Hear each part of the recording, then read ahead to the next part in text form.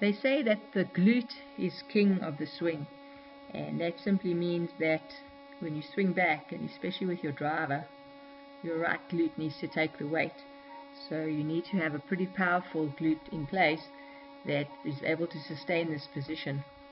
So if you're one of the thousands of golfers that reverse load or reverse pivot on the backswing and find that your weight is in your left glute at the top of the backswing, and you can't seem to, to be able to fix it, then it just actually might be that your right glute or both your glutes are inhibited or weak. And just improving the strength of your glutes will actually help improve your swing. So here's some simple exercises you can do at home to improve those glutes or strengthen them up. And the first one is simply just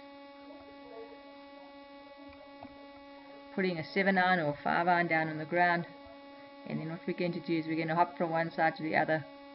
If you do a few hundred of these you're going to feel it. You might have difficulty walking the next day. And if you'd like to add on, on a little bit and do them in your golf posture then obviously that's going to work even better because you're teaching your glutes to load in your golf posture. Um, the other thing you could also do and we've all done them before is do bridges. So just make sure you're nice and relaxed with your arms and your shoulders flat down on the ground and then budge your feet up towards your your backside and then we're going to make a bridge. We're going to lift up and then extend either your right or left leg and we're going to hold it there.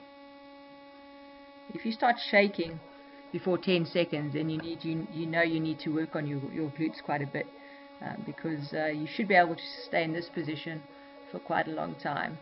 So every day if you can uh, work on it a little bit get yourself to keep this bridge for a lot longer then you will be strengthening your glutes. Just remember not to put any pressure on your on your neck and your back area. We're trying to work the glute muscle and not the your upper back so once again, if you're struggling to get into this nice loaded right position, which will give you a great downswing move to load the left glute, then here's some simple exercises that'll improve your game and your fitness.